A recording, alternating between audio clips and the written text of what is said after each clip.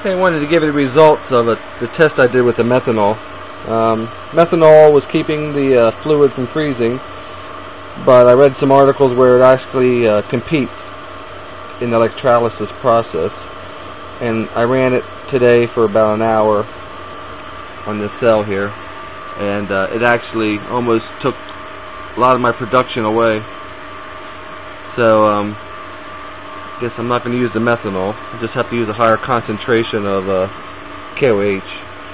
Um, I've been running this cell now. This is a heavier mixture. This is actually um, two uh, tablespoons of KOH for every 16 ounces. And um, I had that check valve on, which is giving me about uh, eh, half a pound of back pressure. There's the uh, check valve. Goes over into the dryer from Hog Labs. And there's a flash arrestor in line. And this torch has been burning for about, um, like I said, three hours now. Temperature on this cell is about 114. And I am using the PWM. And it's been running around 21 amps for about three hours now.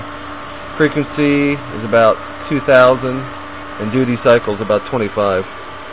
So, just wanted to show you that and uh, tell you about the methanol. It will. Back to the drawing board. Talk to you guys later. Bye.